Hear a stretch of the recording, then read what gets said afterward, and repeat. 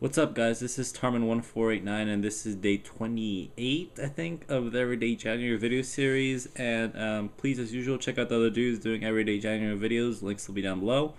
And today, um, um I just want to do like I have like a like small nitpick, kind of a small rant that I'd like to do. Um, uh, I've been noticing it's it's, it's a trend, especially with Warner and their TV releases.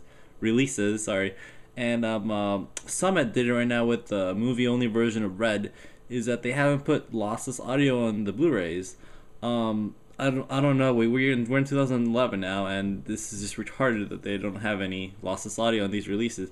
Warner just I don't know why they don't put any lossless audio on their TV shows. And I was watching Clone Wars season two, and um, um how amazing the audio should have been, but it's not. It's just ridiculous. Um, um Warner, I don't know what you're doing. And then Summit, right now, um, uh, Red was released like last week, I think it is, and there was on the movie only edition. It, it was like thirteen dollars, I think, and um, uh, you don't have lossless audio. You just have regular Dolby Digital. What is with that? This is like I think this is the first movie that's been a new release that doesn't have lossless audio. That's been filmed recently. This is crazy. It's not a catalog title. It's a day and date release. Um, uh, and it's weird because then the special edition actually has lossless audio, so it's like they didn't give you special features in that movie only version, and they didn't give you lossless audio. So what the hell is the point of buying that Blu-ray? I don't know.